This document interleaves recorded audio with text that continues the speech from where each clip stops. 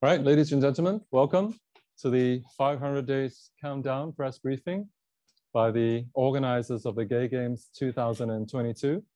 Before we start, we would like to share with you our teaser video for the games, which will give you a good idea of the mission and the values of the games. So please, Brian.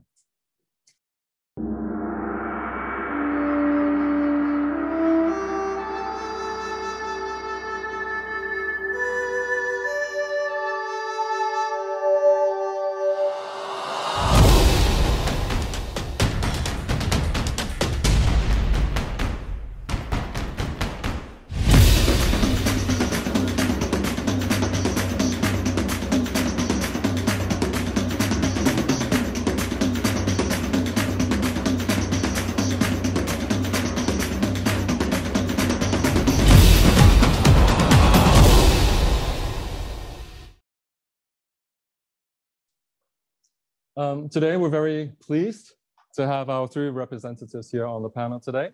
So in turn, they are Mr. Dennis Philipse, founder and co-chair of the Gay Games 2022. 我哋首先有同乐运动会二零二二年创办人兼联席主席 Mr. Dennis Philipse. And then we have Ms. Lisa Lam, co-chair of the Gay Games 2022.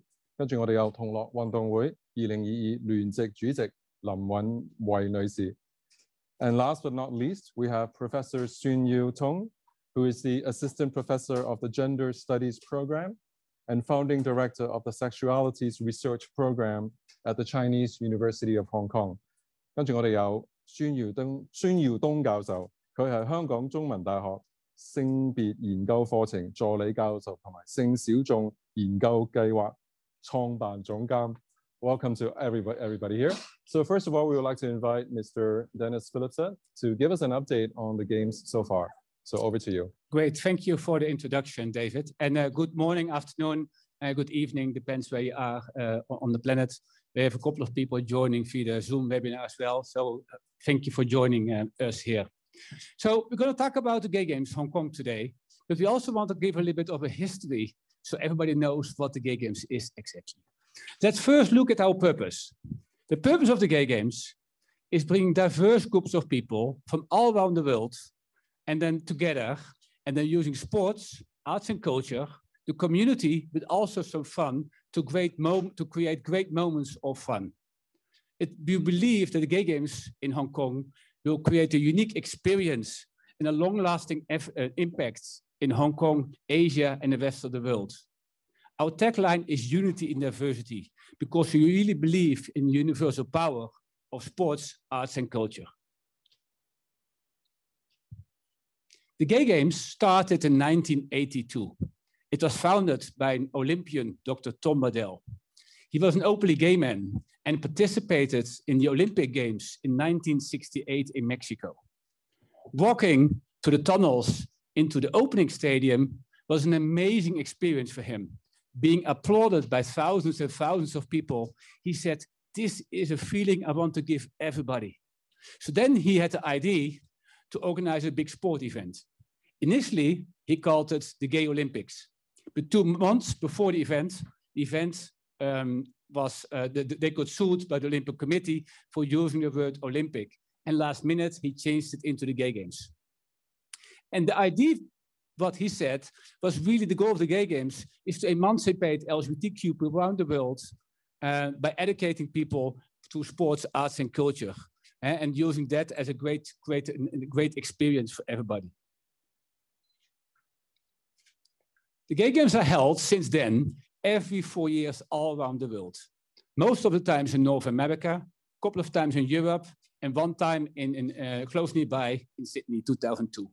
The event was held in New York, Chicago, um, Amsterdam, and in Paris last time.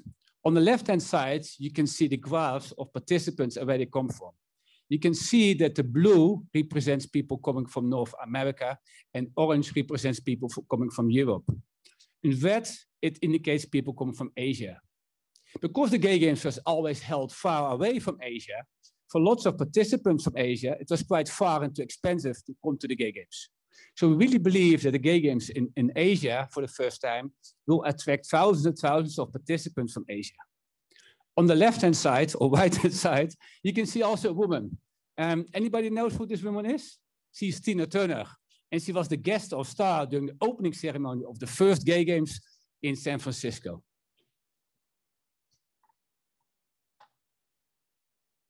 Next slide. The Gay Games principles are participation, inclusion, and personal best. Everybody is welcome to participate in the Gay Games, regardless of sexual orientation, gender identity, race, disability, and age. The only requirement for the Gay Games is that you are 18 years of older. Um, and there is no pre-qualification required. So everybody can join the Gay Games. So once we open our registration, you go to our website, register, and you're able to participate. By using these principles, we're able to organize the most inclusive sports event ever held in Hong Kong. The Federation of Gay Games is the governing body. It's a bit like the IOC. And the Federation of Gay Games is responsible for selecting every four years the host city.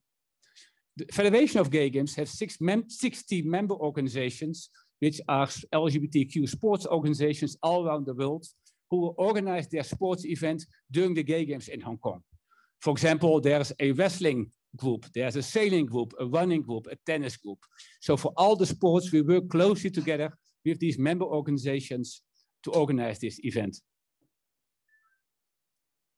In 2014, the opening speech was done by Barack Obama. And even Hillary Clinton, Hillary Clinton that time the Secretary of State, gave a speech to uh, welcome all the thousands of participants coming to Cleveland in the United States that time. The Gay Games in Paris, which was the last event uh, of the Gay Games, um, were heavily supported by the French government and the, the, the French mayor, the Paris mayor, because they really wanted to use this event to promote Paris as a safe and inclusive city. As you probably know, the next, next Summer Olympics will take place in 2024 in Paris. So they really used this as a playbook to create a safe event there. The event was attended by more than 10,000 participants. Um, and uh, we also had many participants coming from Hong Kong and China who really wanted to learn more about the Gay Games. We created a video about these Gay Games, which we're going to show to you now. So let's play the video. Oh. This one more slide, sorry. so what is exactly Gay Games Hong Kong? So Games Hong Kong is going to be nine days multi-sports events with arts and culture and ceremonies. It's going to be the biggest multi-sports event, actually, because we're expecting 12,000 participants, 75,000 spectators, and during the event, we need 3,000 volunteers to organize these events. This, the Gay Games are organized by the community, our commercial partners, and uh, individuals. Everybody is welcome to participate at the Gay Games in Hong Kong, regardless of sexual orientation, gender identity, disability, and age. The only minimum requirement is that you're 18 years of older. Um, we've been working very closely from the beginning, uh, from the bid stage five years ago with the Hong Kong government, and we're grateful for the support from different departments, including the Equal Opportunities Commission, Hong Kong Tourism Board, and Invest Hong Kong. Um, we are a, charity organization based in Hong Kong, and at the moment, more than 180 professional volunteers are working on organizing this event. And let's play the video.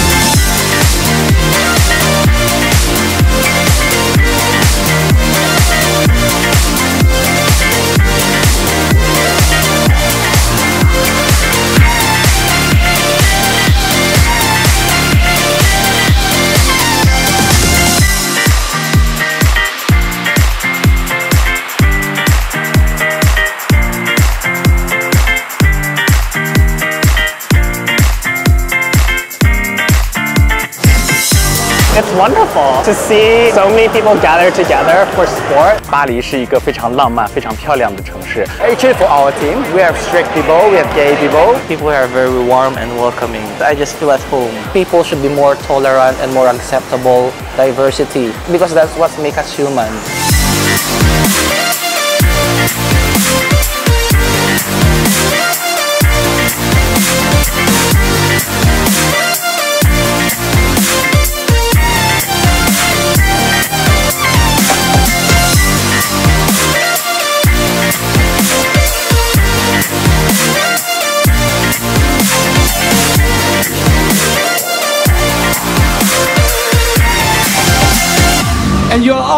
all invited for the next Gay Games in 2022 in Hong Kong.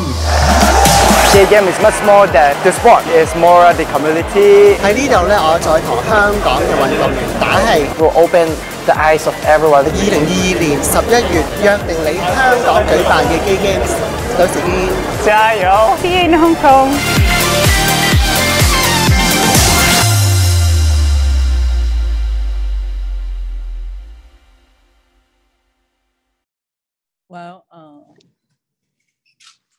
Wanna, okay, well, thanks uh, for showing the video, Dennis. I hope you all get a good sense of how the Gay Games was like in Paris. Now, coming back to Hong Kong, uh, what is it going to be like? Firstly, the Gay Games is going to have five components with an opening ceremony, which is going to be held at the uh, Hong Kong Olymp- uh, Hong Kong Stadium.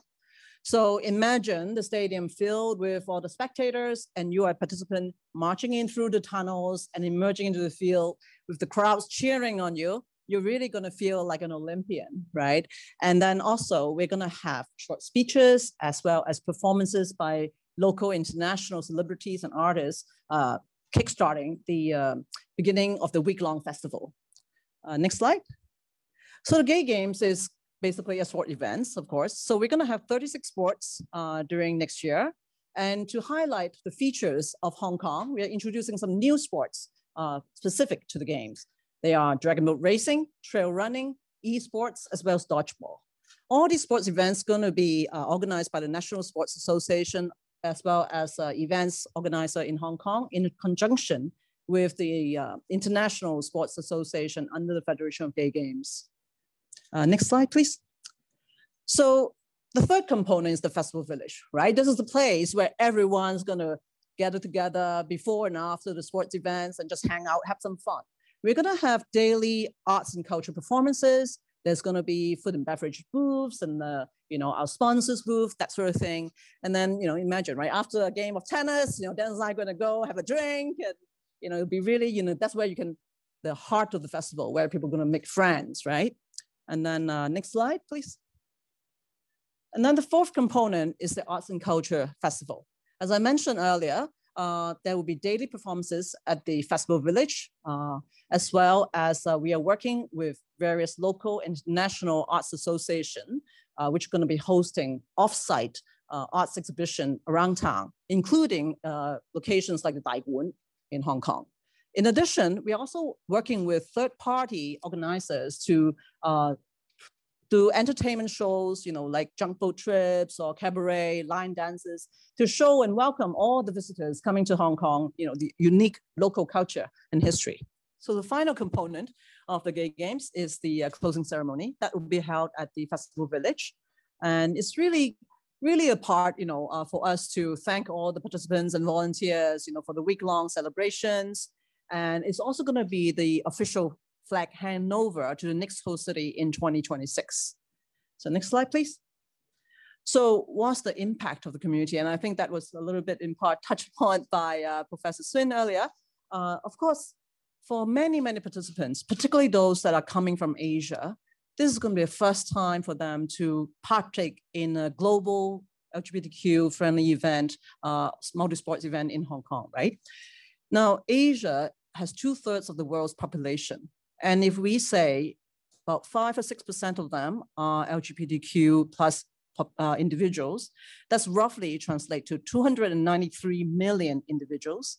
And in Hong Kong alone, you're talking about 481,000 people. So for all these individuals, being able to come to the gay games uh, be open about themselves and celebrating diversity, playing sports and arts and culture is going to be really giving them a sense of belonging, a sense of community. And, and it will be very, very good for the well-being of uh, a lot of the LGBTQ uh, population in Hong Kong and Asia.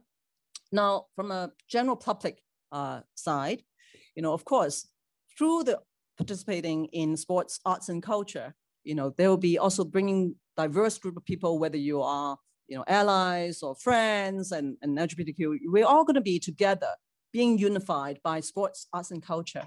And it is only through that that we'll be able to get to know each other, promote a dialogue, and break down stereotypes.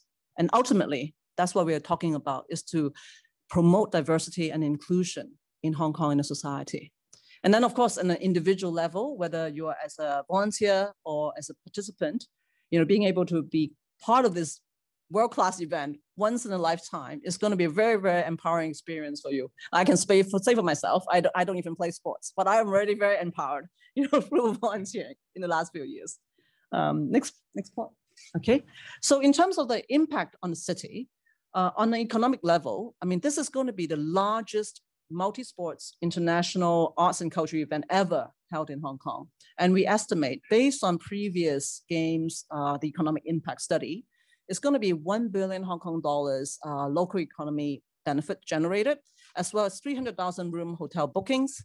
And you can imagine with 12,000 participants, 75,000 spectators coming in, there's going to be a lot of hashtag Hong Kong photos posted on social medias. It's going to be really, really good for the tourism industry uh, that have suffered quite a bit in the last few years.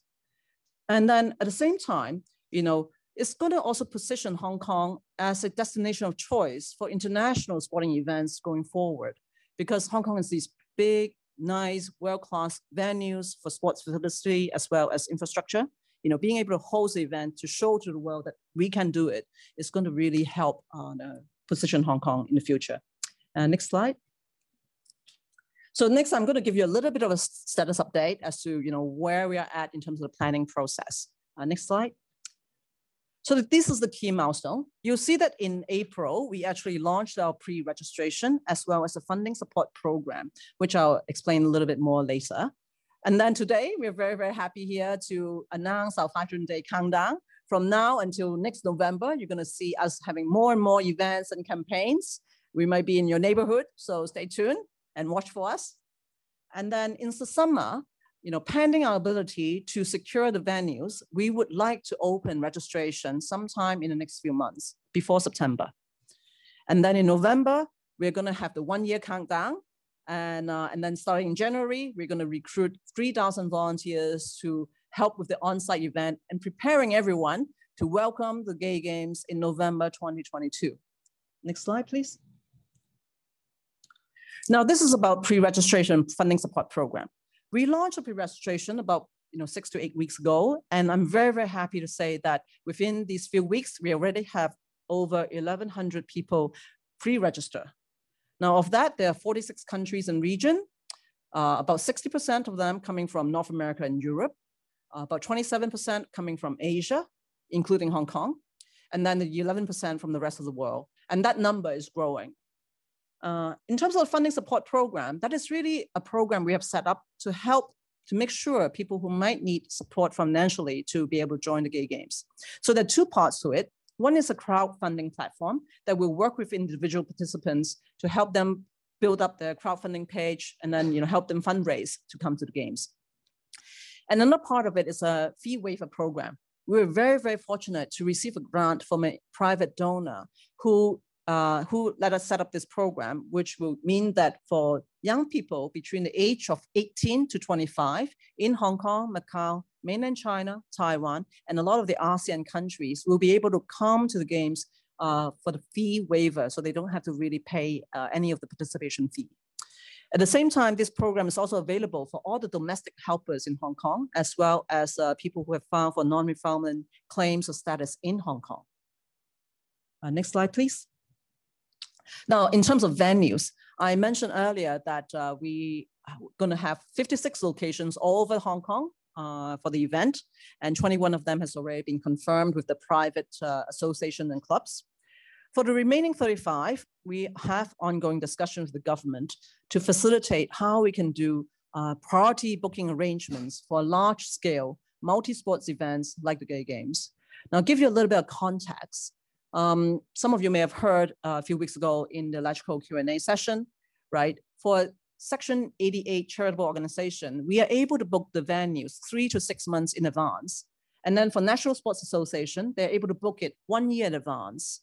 Now, um, while we do have the support of many, many National Sports Association, we come to a little bit of a tricky situation when we ask them to book the venues in their name for the gay games, which is not an event that is hosted by them. You know, there's a lot of technical and logistical issues. And that is where we would like to work with LCSD to see whether there's any flexibility to enable GGHK uh, gay games to be able to book these venues one year in advance so that we can open the registration in the summer. Next slide, please. So finally, on the slide here, uh, we are very, very proud to have a, a, very growing list of our supporters. And we have the Hong Kong Tourism Board, Invest Hong Kong, uh, Information Service Department, Brand Hong Kong, as well as the Equal Opportunities, Equal Opportunities Commission as our supporting organization from the government side. On the commercial side, we have uh, Bonvoy and YouTube have signed up confirmed as platinum sponsors. And then we also have a lot of community partners and trade organization.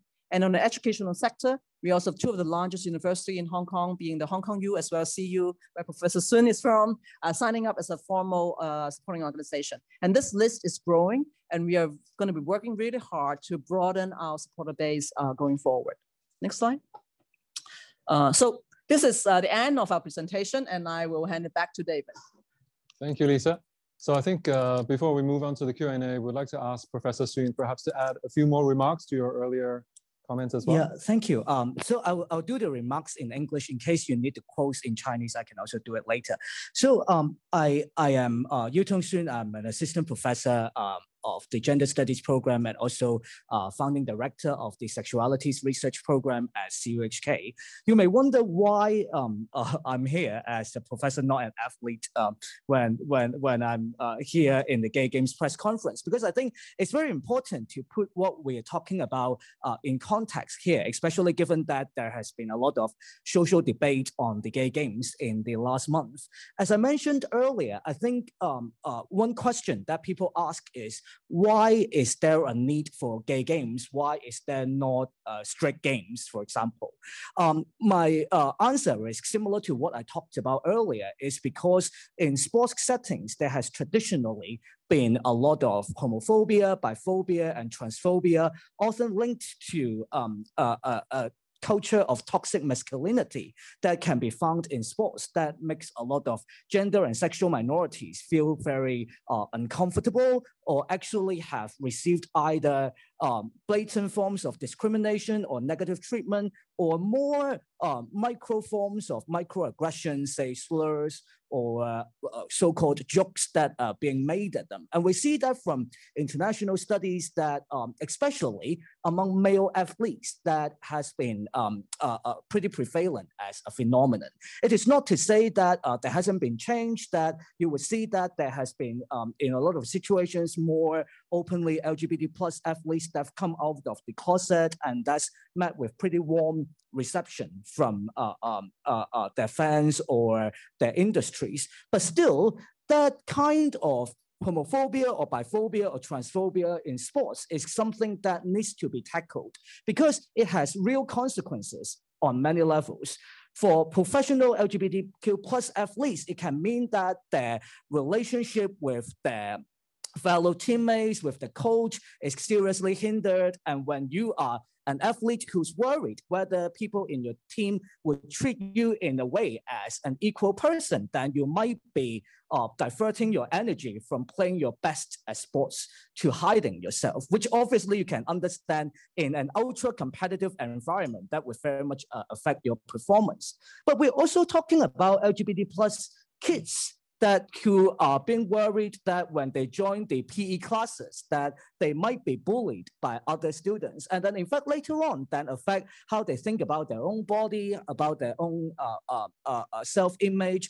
And so the origin of the gay games is actually both to allow LGBT plus people to feel safer in this environment where they can be themselves to excel in um, uh, the sports field as any other persons. And at the same time, as Dennis and Lisa mentioned, that it allows the public more greater chance to be in touch with gender and sexual minorities who have largely been invisibilized in society. But nonetheless, actually research shows that the number is not as small as what people might have imagined. So I think there is a very important need to reorientate the debate uh, to that it is actually about inclusion, diversity, and health and well-being.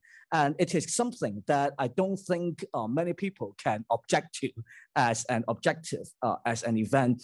And then I will also just add a few points to what uh, Dennis and Lisa have already mentioned in terms of uh, the significance of the uh, event at different levels. I think the first most obvious, um, uh, well, there would be four aspects that I would talk about in terms of its impact to the LGBT plus community, to the general public, um, to businesses, as well as uh, what I would also like to see um, the government and the Hong Kong society to uh, support the event to enable it uh, to happen. The first one is it's very obvious that uh, it would bring uh, a positive impact to the LGBT plus community. As I mentioned earlier, it makes uh, uh LGBT plus athletes to feel more welcomed. But I think I would also like to point out that although the uh, games is called Gay Games uh, 11 Hong Kong 2020, 2022, but as Dennis and Lisa have already mentioned, this is actually an international uh, event, and actually it has got international significance. So when now at 2021, um, we're talking about we have got about 30 countries around the world that have legalized same-sex marriage. Still, in many other parts of the world, being gay can mean that you can be subjected to different types of penalties. So to have this event actually is also of significance to the international LGBT plus community uh, in addition to the local LGBT plus community as well.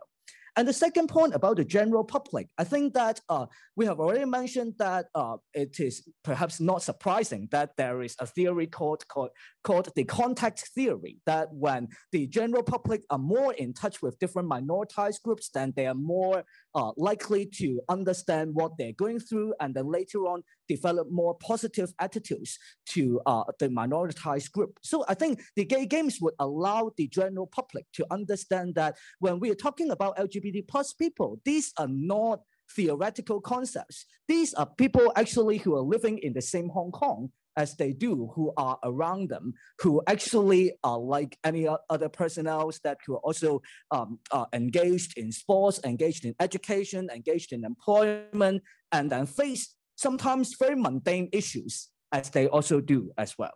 And then I think the third point, as Dennis and Lisa have already mentioned, is the business impact that uh, is going to bring to Hong Kong. As I mentioned earlier, I think this is also especially interesting given that we're in Pride Month, that we see businesses, not only uh, multinational corporations, but also local uh, uh companies that are increasingly LGBT plus inclusive, because increasingly that they realize that this is not only a good thing to do, but this actually makes great business sense, both in terms of their own internally, it makes their LGBT employees more um, uh, uh, uh, uh, loyal, more productive, but it also means that they can also attract more LGBT plus talents and also LGBT plus customers to their organizations. And the final point that I want to make is um, I would like to urge uh, both uh, Hong Kong government as well as other uh, relevant organizations to make it um, to to enhance the running of uh, the gay games. Oh, is it working or have I pressed anything. Just keep going. Yeah, I'll just keep going. And then um, I, I would urge both the Hong Kong government as well as other organizations to um, support the gay games to um, uh, make it um, even more smooth and even better prepared for its running. Because as I mentioned, that this is not only about the gay games, this is actually about uh, the whole city. So I think in addition to enabling the booking of the venues, I think another thing both for relevant uh, government units as well as other service providers in society to think about and in preparation of the 500 day countdown is how to be LGBT plus friendly when we're going to have such a significant number of participants from uh, different parts of the world. So in the past, we understand that when transgender people uh, went through the customs, sometimes they experienced issues. So that would be something that the relevant units that could uh, look into training and awareness raising and then also, I would also urge service providers like hotels or other service providers, if they see it as an opportunity that uh, they would like to take up, there's also a lot of preparedness that they need to look at in terms of how to make um, uh, uh, Hong Kong be a welcoming city for the many uh, uh, uh, thousands of people who are going to join us from different parts of the world. So uh, these are a few uh, remarks and my thoughts. And so I hand the time back to David. Thank you very much, Thank Professor you. Suen. Thank you very much, Dennis and Lisa. So now we'd like to open up the floor to more questions from our friends in the press. Who would like to go first?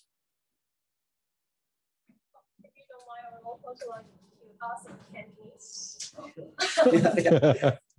sure.亞洲地區，我喺歐洲同埋歐美地方咧，個基本個阻力係咪冇今次大？或者其實即係譬如話今次喺香港搞基建咧，到而家啲黑為主會唔會話，即係上個禮拜開始有少少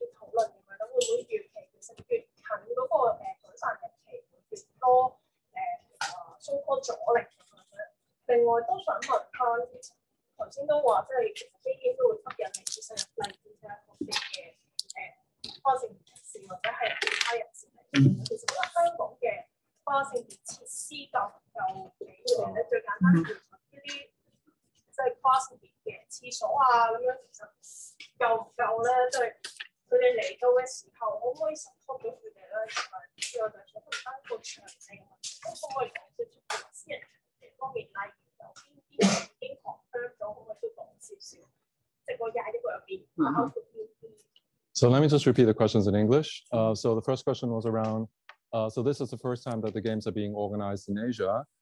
What has the opposition been in previous games held outside of Asia in other countries? And as we lead up to the games themselves, do you anticipate that there will be growing opposition among the community in Hong Kong? The third question was around what are your views on the support for transgender communities in Hong Kong in terms of facilities and perhaps also uh, community acceptance? Mm-hmm. And uh, actually, I forgot what the last question was, but maybe Prof Professor Suen can remind me. Uh, whether Hong Kong is the facilities? No, that's no, that was trans. So what was the last question? The, venue, the venue, oh, yes, the venue updates. What are the private venues that are already confirmed? What are those venues? Um, so can I suggest maybe Dennis can take the first question. Yeah, no, right. you can talk yeah. about the venue as well. Okay, so thank you for asking your question. The microphone stopped working somehow, so I'll talk louder. Um, when the gay game started in 1982, and I think that time also the United States was, was still a, a, different world than the United States was now, right? So for lots of people, the gay games or the gay Olympics that time was quite a new concept. And, and when the gay games was held all, all around the world, every time there were people from different parts of the community who had questions and maybe concerns about why the gay games are needed and what's the impact. Um, like, for example, in the last gay games in Paris, there were different organizations who said, do we need an event like this? Is it really required? Um, and also on, on, the journey within the last five years of organizing the gay games in, in, in Hong Kong and Asia, uh, there were people who said, do we really need this? Is, is Hong Kong ready for that? Um, and as you probably know, when we started the bidding five years ago, we were bidding against 17 other cities, um, including Los Angeles, San Francisco, uh, Washington, D.C., and, and Guadalajara. Uh, and part of the bidding process, we, we finally got uh, shortlisted against Washington, D.C. in Guadalajara. Four years ago, we organized a site visit inspection from the inspectors. We organized a big reception at PMQ where 600 people came up from the whole community. Um, so all along this journey, they always have people say, do we really need this? Are people concerned? I think that's also the purpose of the gay games to have those dialogues and to explain people what is the event about, and also winning the hearts and minds in a very positive way, right? Because sport is universal. Uh, if we all go, all of us tonight for one together, yeah, somebody falls, somebody has cramps, we're really able to build lifelong friendships. And I think once you talk with the people who maybe have questions about this and they understand the concept, so far everybody has been very supportive and, and we really believe in unity element there. Uh, so that's the first uh, question. And then 21, 21 venues. 21 venues. So those venues include private venues, like for example, the Rugby Union, who has King Park uh, available, but also so sailing will be taking place in Hebe Haven in Sai Kung, uh, and then also, for example, here in uh, Victoria Harbour. Then there will be other locations for, for running, which will take place outdoor uh, in different locations. One will be a, a running event taking Sai Kung, then the other one will be in Tai Po, uh, and the other one will be here around the peak, for example. Um, so the different locations, either private or government AFCD venues, that you can uh, secure closer to that. There's a question about the I transgenders. would love to also take that after you. Yeah, yeah, after you. But yeah, Oh. yeah, yeah. 咁誒、呃其實同跨性別群組嗰嗰方面咧，我哋都一路有誒係、有好多嘅聯絡嘅。咁我哋都喺呢方面都有同政府誒、呃去溝通過啦。尤其是因為誒、呃、將來會即係香港會有迎接咁多嘅誒唔同，其實係即係跨性別又好，或者係其實唔同應該話性別身份可能係。 唔係淨係呢個二元嘅男同女嘅分別啦，係咪？咁我哋都有同政府溝通過，亦都有特別係誒同平機會啊嗰邊亦都有講。咁我哋希望可能係會誒、呃到再近呢個日子嗰陣時候，會繼續去睇下點樣誒、呃希望或者係會有一啲誒同前職即係前線嘅人員啦，無論係做移民嗰方面啊、警警方方面啊，可以可以有多啲溝通啦。咁大家可以更誒、呃有一個 誒、呃即係誒更容易去接受啊，或者係更容易去方便處理啊，有個比較有誒、呃即係。尊重嘅方法去處理呢件事啦。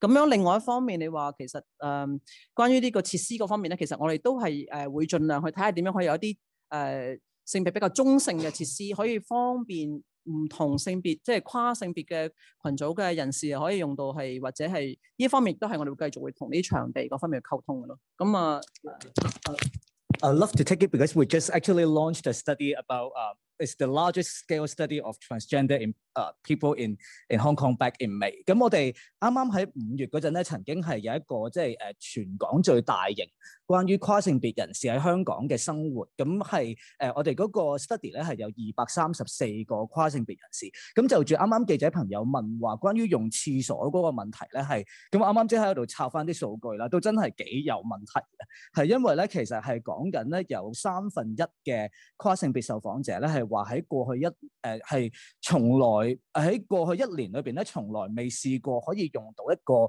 同佢哋自己性別認同有關，即係誒誒誒 誒 match 嘅一個洗手間嘅。咁而甚至乎咧，其實佢哋如果想去用一啲誒誒。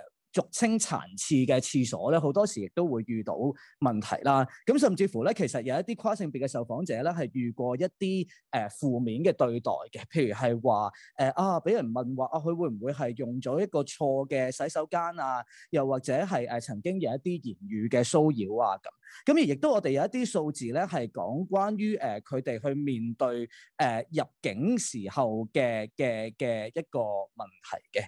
而我就喺度抄緊嘅。咁咧就係、見得到咧，其實都有誒好、多嘅受訪者咧，係喺入境嗰度去面對過一啲 issue 嘅。咁係譬如係話。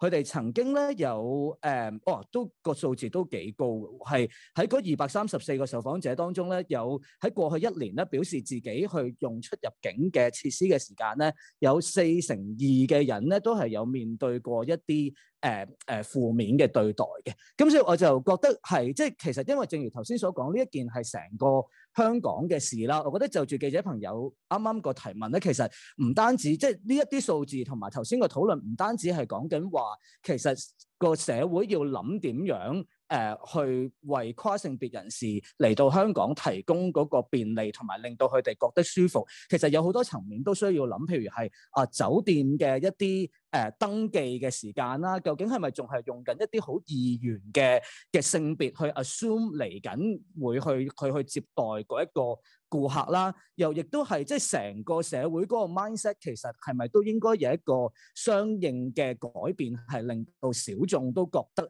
係佢哋會覺得舒服嘅咧？咁而我覺得即係今日因為係一個五百日嘅日子咧，其實即係話長話話長又唔長，話短又唔短嘅時間咧，其實係應該無論政府啊、相關部門啊，同埋即係成個誒唔、呃、同嘅服務提供者都需要去諗嘅一個問題。Thank you. Thank you. We have time for a couple more questions. Yeah, allow me to ask in Chinese as well. 诶，咁其实即系头先另外一啲记者朋友都提到，其实诶，即系呢一轮都有立法会议员啊，甚至乎其实有啲有啲团体都系用一啲比较负面啊或者反嘅抨击去讲诶 gay games 呢样嘢啦。咁其实诶诶，你哋有冇即系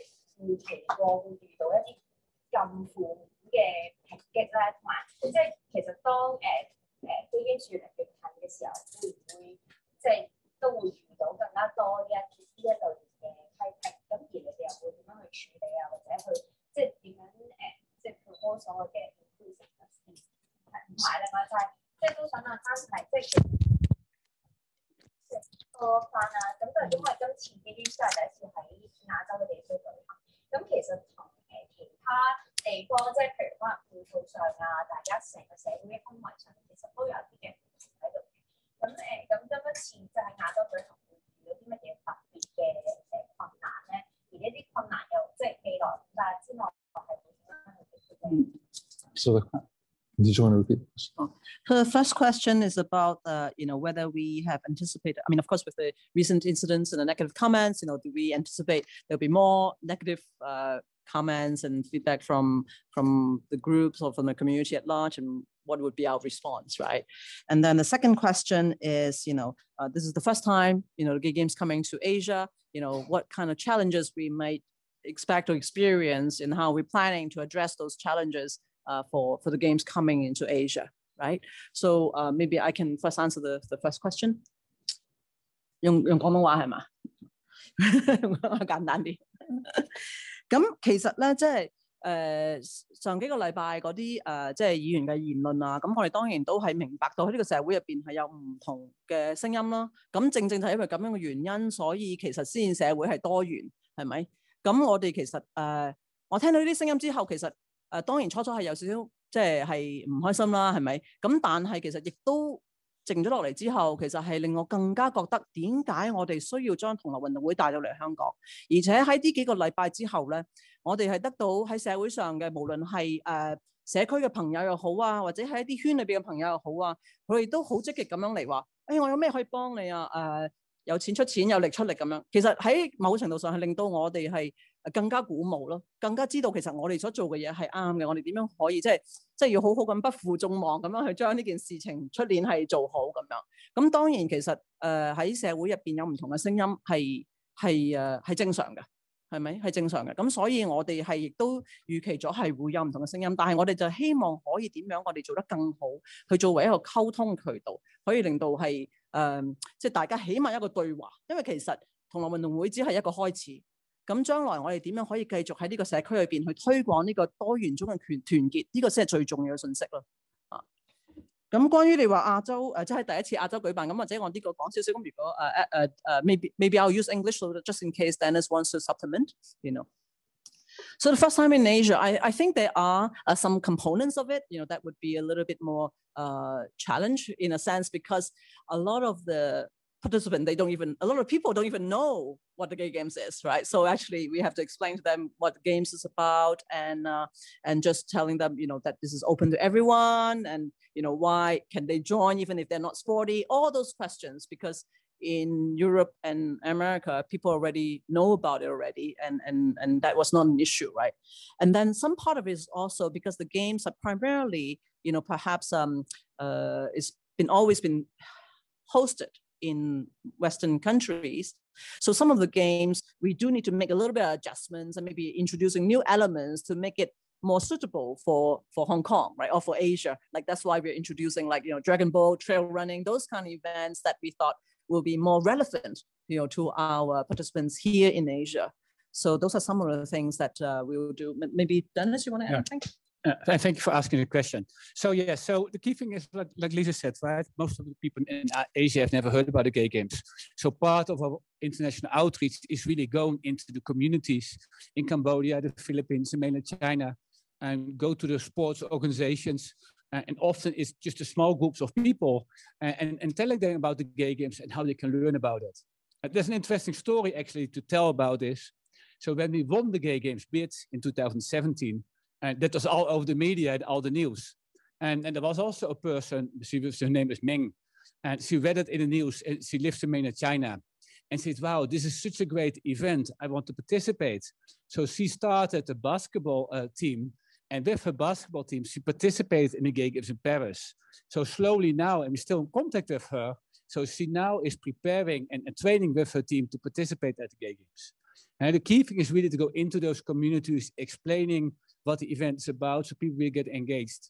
Could I make a very quick point that that I also want to add that I think uh, because sometimes like there's a lot of debate about whether being LGBT plus is a non-Asian thing, but I also want to actually emphasize that Asia is also rapidly changing as well. Say, for example, that um, in although some parts of Asia were not as well prepared, but you see that Taiwan has become the first jurisdiction that has legalized same-sex marriage in Japan in the lead up to the Olympics. That there has also been a lot of debate about um, LGBT plus friendliness, both in the private sector as well as uh, by the government. And also there has a, been a lot of debate in other parts like um, Thailand, Philippines, uh, uh, on different ways of protection of LGBT plus people. So I think we also like need to debunk that, oh, necessarily that that is going to be held in Asia. People are not going to accept it. I think there are indeed going to be challenges, but then we must also debunk the myth that, oh, being LGBT plus